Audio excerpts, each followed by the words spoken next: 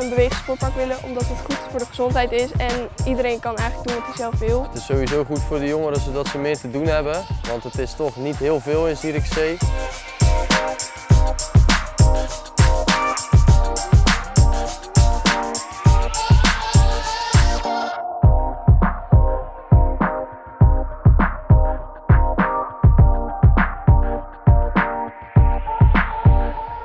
Ik zou heel graag een urban sportpark willen hebben. Het uh, ja, zet aan tot bewegen, zeker in de buurt van zo'n school. Er wordt er veel gesport in Zierikzee en dat is veel beter dan alleen maar gamen. Wij vinden het gewoon heel leuk om te freerunnen en dan kunnen we bijvoorbeeld ook onze vrienden een paar dingen leren. Dat we gewoon met z'n allen lekker kunnen sporten hier bij elkaar. We zijn helemaal geen binnenmensen, we moeten juist lekker naar buiten.